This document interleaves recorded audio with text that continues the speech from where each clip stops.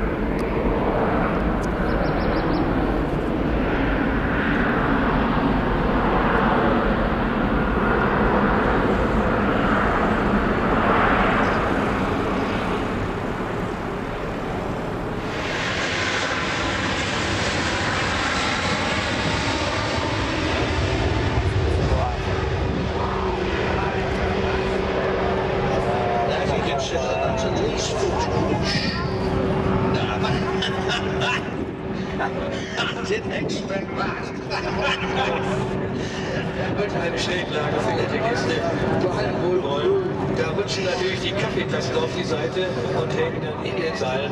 Aber das sind die Grenzmanöver. Damit wird einmal bewiesen, mit wie viel Technik, mit wie viel ja, Akribie die Aerodynamik berechnet wurde, dass mit diesem Luftfahrzeug Wahnsinn.